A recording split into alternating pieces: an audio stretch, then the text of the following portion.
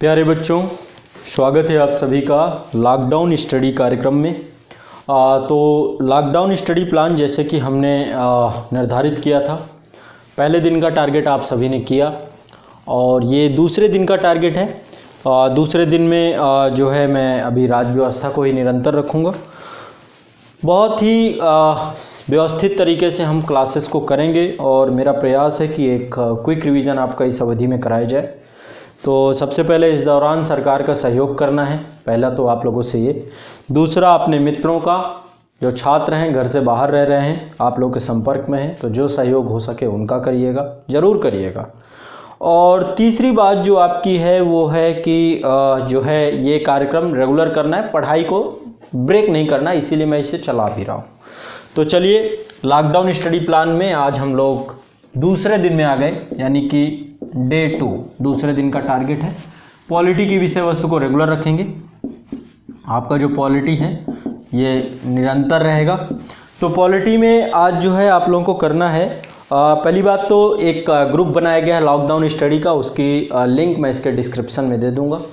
तो आप लोग उससे ज्वाइन हो जाइएगा। यदि आप नहीं भी ज्वाइन होते तो आज़ाद आई एस अकेडमी में एक प्लेलिस्ट बनी हुई है इंडियन कॉन्स्टिट्यूशन बियर एक्ट की। तो उसी से मैं क्लासेस दे रहा हूँ आपको।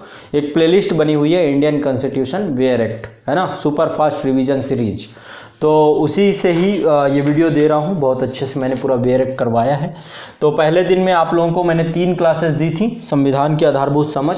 बहुत मज़े से आपने उस क्लास को किया होगा। फिर आपने अनुच्छेद एक सौ उनसठ, अनुच्छेद एक सौ इक्यावन तक किया, है ना? अनुच्छेद एक से लेकर अनुच्छेद एक तक किया।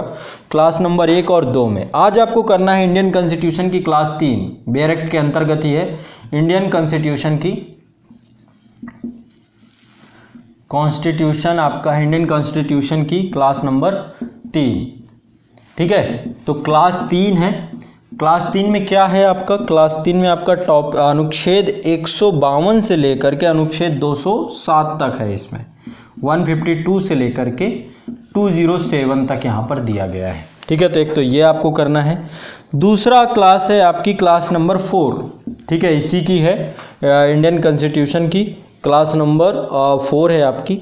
तो क्लास नंबर फोर में आप ये बेयर एक्ट है आपका इसमें अनुच्छेद 208 से लेकर के अनुच्छेद 246 तक। देख रहे हैं? बढ़िया से आपको इतने आर्टिकल कब पढ़ोगे, कभी नहीं पढ़ोगे आप लोग। मैं करवा रहा हूँ आप लोगों को, एक कर लो। और इसके बाद आपकी है क्लास नंबर फाइव है ये। तो ये भी आपकी इंडियन कॉन्स्टिट्यूशन की है। इंडियन कॉन्स्टिट्यूशन की क्लास नंबर फाइव ये भी आप करेंगे इसमें।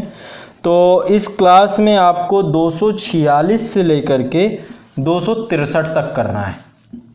ठीक है, दो सौ से छियालीस से लेके दो तक। तो ये तीन क्लासेज आज आप करेंगे दूसरे दिन के टारगेट में। क्लास न तो इस तरीके से अनुच्छेद एक सौ बावन से लेकर अनुच्छेद दो तक आप लोग पढ़ लेंगे। इसके लिए बेयर एक्ट यदि आपके पास हो, कल पीडीएफ भी मैंने शेयर की थी। आज फिर ग्रुप में पीडीएफ फिर से शेयर कर दूँगा एक बार। तो यदि आप लोगों के पास बेयर एक्ट हो, होना चाहिए, यदि नहीं है तो अभी तो लॉकडाउन है, कुछ मिलेगा नहीं आप लोगों को। लेकिन पीडीएफ से काम चला लीजिएगा। अनुच्छेद एक सौ बावन से लेकर दो तक आपको पूरा करना है। ठीक? तो चलो आनंद लो इसका पूरी जर्नी का। पढ़ाई मतलब इस तरीके से रखो कि कल के दिन एग्ज़ाम अभी देना है एग्ज़ाम ख़त्म नहीं हो रहे हैं। ये अंतिम नहीं था तो एग्ज़ाम रेगुलर ही रहेंगे। और बस आप सभी आ, सभी से उम्मीद है कि आप सभी सहयोग करेंगे। एक और जानकारी मुझे देनी है आज़ाद फाउंडेशन जो आज़ाद इस एकेडमी का एक एनजीओ है। इसका जो है यूट्यूब चैनल है इस एनजीओ में आने वाले समय में मैं आप लोग को जोड़ूँगा। लेकिन लॉकडाउन चल रहा है तो लॉकडाउन के कारण से बहुत सारे छात्रों की समस्याएँ हो सकती हैं। उन्हीं समस्याओं को लेकर के जो भी संभव मदद होगी हम आपस में करेंगे एक परिवार की तरह, जैसे हम करते आए हैं। और एक अपील करेंगे सभी से कि आसपास जो हमारे जो स्टूडेंट हैं, जो घर से बाहर हैं, उनकी मदद करें सभी लोग। तो आप सभी जो है आज़ाद फाउंडेशन के यूट्यूब चैनल को ज़रूर सब्सक्राइब करिएगा। उसमें कार्यक्रम लेकर के आ रहा हूँ मैं। हर शनिवार को लाइव सेशन होगा शाम को नौ बजे और कार्यक्रम का नाम है छात्रों के लिए कार्यक्रम। ठीक है? तो आज़ाद फाउंडेशन का यूट्यूब चैनल है। ये इसको आपको जो सर्च करना है, Azad foundation unit of Azad group पूरा नाम इसका ये है। और, या फिर आज़ाद इस अकेडमी के टेलीग्राम चैनल पे इसकी लिंक मैंने दे दी है। तो आप एक बार वहाँ से ज्वाइन कर लीजिएगा। तो आज़ाद फाउंडेशन इस यूट्यूब चैनल को आपको ज़्यादा से ज़्यादा लोगों को सब्सक्राइब कराना है, आप ही का है। इसका पूरा नाम जो आप सर्च करेंगे, Azad foundation unit of Azad group. Unit of Azad group. ठीक है, ये हमारा जो है, एक एनजीओ है। आने वाले समय में इसके द्वारा भावी कार्यक्रम बनाए गए हैं मेरे द्वारा। तो अभी इसकी वेबसाइट बन रही है, जैसे आ जाएगी, आप लोगों तक जानकारी पहुँचा दूँगा मैं।